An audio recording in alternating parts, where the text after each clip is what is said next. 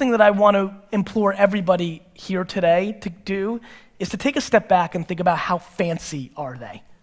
Are you willing to be really, really, really ghetto? Do you really need that chair? Do you really need that piece of technology?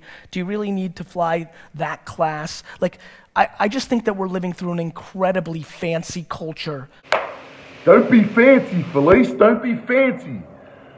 Look, man, this, this simple principle that Gary Vee talks about relates to weight loss 120%. Um, and, and, and, and how it relates is this, man.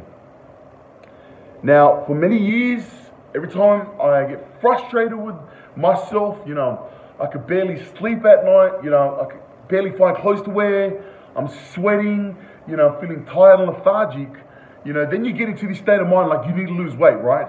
And then, like, I did this mistake where I'll, I'll get into this fancy state of mind, I'll get into this fancy Felise, and I'll start coming up, I'll start consuming. I'm like, what do I need to do? I need to get, I need, I start, I start consuming. I start strategizing. I start pondering. I start thinking. And I spend so much time thinking, dwelling on, on what I need to do and on the strategy, and I spend less time on doing. I spend less time on simply going for a walk like less time going to the gym, less time preparing my meals.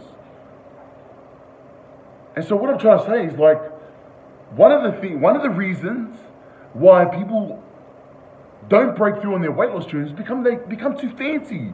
They because there's so much information out there, right? They spend so much time on strategizing and pondering and less time doing, less time executing. Mind you, executing is what's going to enable you to be able to get rid of the weight.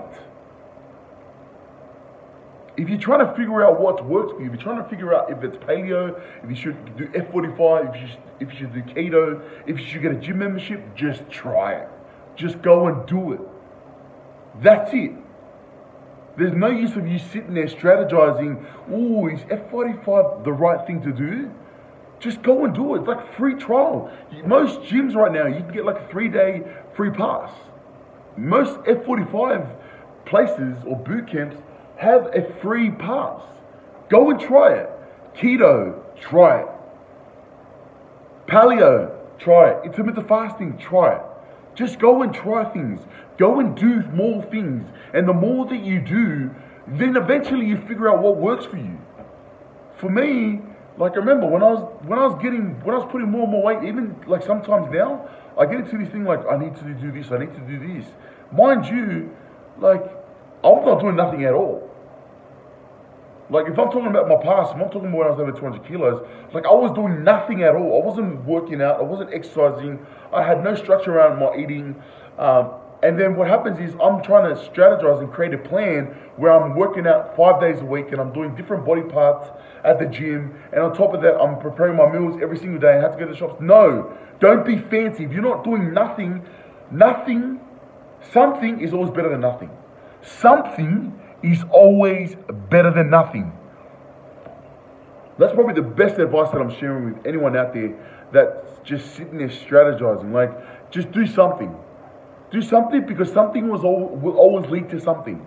Something will always lead to something. And the more somethings that you do, that makes sense, eventually you get to figure out what works for you. Right now, what works for me is doing 30 minutes of cardio and I do intermittent fasting where I eat one meal a day. That's it. Maybe within maybe within one year from now, it's not going to work. Then I'm just going to change her up and then figure out what another thing. But ultimately, you, you, you don't know until you try and test. Don't be fancy about it. Just understand this. If you're doing nothing, do something.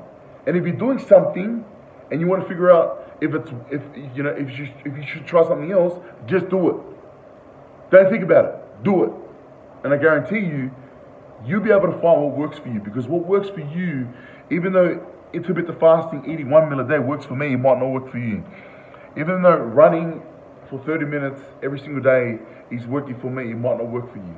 But the only way that we're going to truly identify if you and you and whatever strategy you want to do clicks, if there's a click, if there's a sync, or if it rhymes, is by trying, but more importantly, doing.